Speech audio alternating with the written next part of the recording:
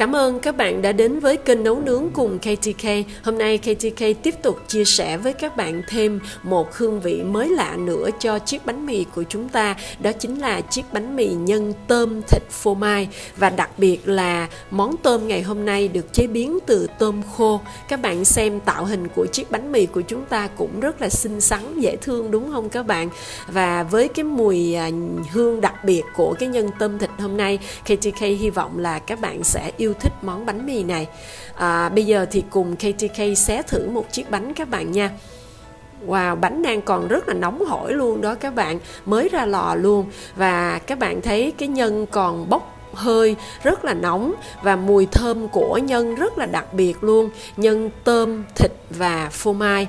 Và xé thêm nữa thì các bạn thấy bánh mì rất là mềm xốp. Nó tạo nên những cái xớ bánh rất là mỏng luôn đó các bạn và cùng trải nghiệm món bánh mì nhân tôm thịt với KTK các bạn nha. Đầu tiên chúng ta có 250 g bột mì số 13 tức là bread flour. Tiếp theo là 35 g đường và 3 g muối. Các bạn trộn đều ba thành phần này lên.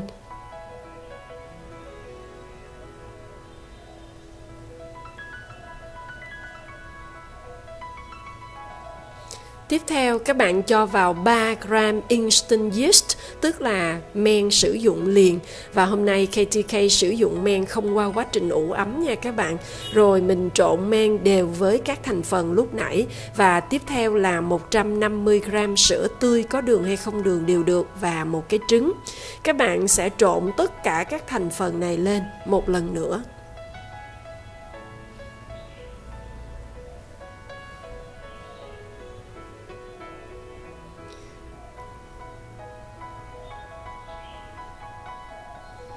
Sau một lúc trộn thì à, các bạn thấy là các thành phần đã hòa đều lại với nhau rồi, thì chúng ta sẽ để cho cái khối bột này nghỉ 20 phút.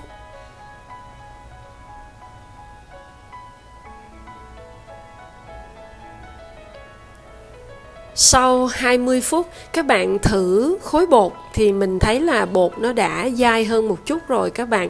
Và bây giờ thì các bạn cho tiếp 25 gram bơ lạc để mềm vào trong cái khối bột này. Và tất cả các nguyên liệu sử dụng cho món bánh mì, các bạn nhớ chúng ta để ở nhiệt độ bình thường, tức là nhiệt độ phòng các bạn nha. Rồi, mình sẽ trộn để bơ ngấm đều với các thành phần. Lúc này là các bạn chỉ có trộn thôi. Bây giờ mình mới chuyển cái khối bột qua một một cái mặt phẳng nhồi. Các bạn nhớ rắc một chút bột nha để cho bột không bị dính vào mặt phẳng nhồi. Và các bạn đồng thời cũng thoa bột vào tay cũng như là rắc một chút bột lên trên mặt bột. Rồi chúng ta nhồi nhẹ nhẹ từ bên ngoài cái khối bột để giúp cho cái khối bột ổn định. Và lúc ban đầu thì cái khối bột nó khá là nhão cho nên là mỗi lần mà các bạn thấy bột dính tay quá thì mình cứ thoa tay hoặc là rắc bột lên trên cái à, mặt bột và chúng ta tiếp tục nhồi và các bạn tiếp tục nhồi cái khối bột trong vòng 15 phút.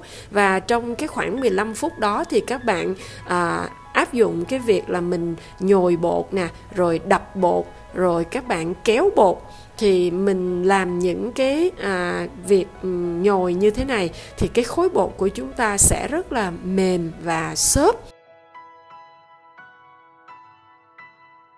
Sau 15 phút nhồi, các bạn sẽ tạo cái viên bột thành một cái viên tròn to và cho trở ngược về trong tô. Các bạn nhớ là rắc một chút bột nha, để tí mình lấy bột ra không bị dính.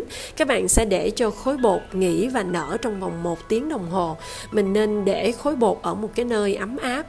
Rồi trong lúc chờ đợi thì các bạn sẽ chuẩn bị phần nhân. Các bạn cho một ít dầu vào chảo nóng và một ít tỏi băm vào chảo nóng, phi tỏi lên cho thật là thơm vàng. Sau đó các bạn cho vào 50 gram tôm khô thì cái tôm khô này KTK đã ngâm nước để giúp cho tôm khô nó mềm à, khoảng nửa tiếng trước khi các bạn xào nha rồi sau khi mình xào cho cái phần tôm nó thơm lên các bạn để nguội và bắt đầu mình cho vào máy xay thực phẩm các bạn cho toàn bộ phần tôm vào máy xay thực phẩm và xay cho đến khi phần tôm tạo thành một cái cái cái những cái sợi bông lên. Giống như là mình làm chà bông vậy đó các bạn. Và với máy xay thực phẩm thì làm rất là nhanh. Các bạn thấy là cái phần tôm bông lên rất là đẹp luôn. Rồi mình cho toàn bộ phần tôm này vào trong 100 gram thịt xay và tỏi băm cũng như là hành lá và ngò rí băm nhuyễn. Một chút tiêu đen, một chút đường nâu à, rồi và cuối cùng là một ít dầu mè giúp cho cái phần nhân của chúng ta có một cái mùi thơm. Và các bạn trộn đều các thành phần này lên. Rồi chúng ta sẽ để cho phần nhân ngấm gia vị trong vòng à, 15 phút phần này thì KTK không có nêm muối bởi vì trong cái tôm khô nó đã có một cái vị mặn nhẹ rồi các bạn ha. Rồi sau 15 phút ngấm gia vị, các bạn bắt đầu chia cái phần nhân ra thành 6 phần bằng nhau và chúng ta vo tròn thành những cái viên tròn.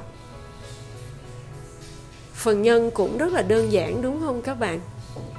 Rồi và sau một lúc thì chúng ta đã có được 6 viên nhân sau một tiếng đồng hồ các bạn thấy là khối bột đã nở lên rất là tốt luôn. Cái kích cỡ gần như là gấp đôi luôn đó các bạn. Rồi các bạn ấn để làm xẹp cái khối bột à, và chúng ta sẽ lấy cái khối bột ra khỏi tô.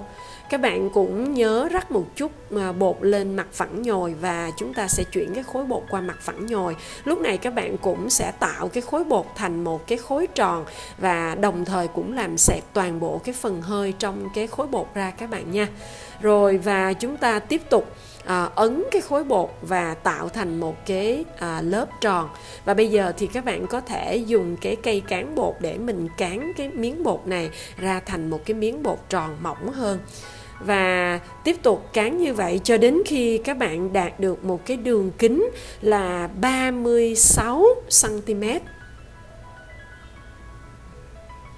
Rồi và các bạn dùng à, cái cắt pizza để mình tạo nên 6 cái phần à, bằng nhau. Các bạn cố gắng là chia thật đều càng đều thì cái phần tạo hình của mình nó sẽ càng đẹp các bạn nha.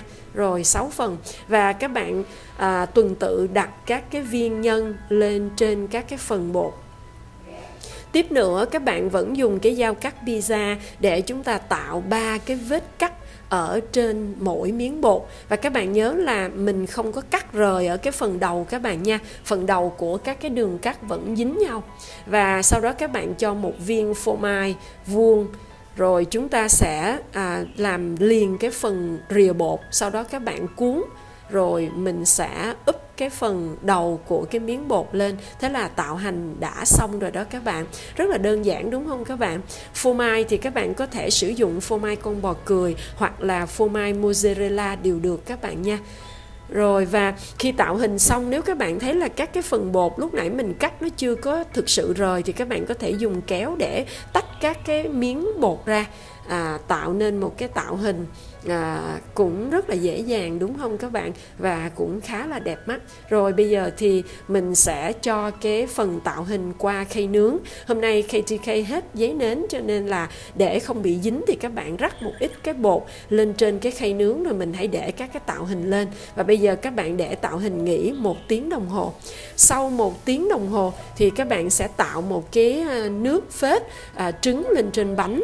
Thì cái nước phết này nó gồm có một cái lòng đỏ trứng và ba muỗng canh à, sữa tươi có đường hay không đường đều được các bạn nha. Rồi sau đó các bạn phết thật là mỏng một cái lớp thật là mỏng lên trên các cái rìa bánh. Mình chỉ cần phết lên trên cái phần rìa thôi các bạn không cần phết lên trên cái cái lòng ở giữa các bạn nha.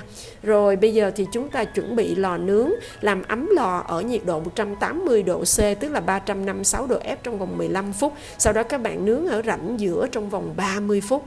Sau sau 30 phút các bạn thấy bánh ra lò vàng rất là đẹp luôn. Nhưng mà khi mà bánh còn đang nóng thì các bạn nhanh tay phết một cái lớp bơ lên thì các bạn sẽ thấy cái màu vàng của bánh nó rất là đậm đà luôn đó các bạn ơi. Wow, bây giờ thì bánh của chúng ta đã thực sự hoàn tất rồi. Màu rất là đẹp luôn đúng không các bạn? Và cái tạo hình cũng à, rất là lạ mắt Cũng à, rất là xinh xắn. Và à, KTK hy vọng là các bạn sẽ yêu thích cái món bánh mì nhân tôm thịt ngày hôm nay. À, Các bạn à, đừng quên cho KTK một cái like, share. Cảm ơn các bạn.